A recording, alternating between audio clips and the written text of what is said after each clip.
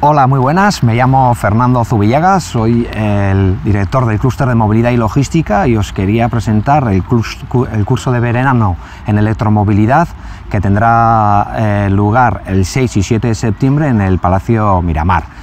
Este curso va un poco en la línea con la estrategia de Guipúzcoa de impulsar todo este sector, ¿vale? Y, queremos eh, tratar eh, junto a empresas punteras del, País Vasco y, de Guipúzcoa todas las oportunidades y fortalezas que tiene, que tiene este sector. En este curso de verano no solo vamos a enfocarnos en lo que es la movilidad limpia, la movilidad eléctrica, sino también en todas las tecnologías que, se están desarrollando en este, en este entorno y también todos los nuevos modelos de negocio que se están generando y se van a generar en los próximos años.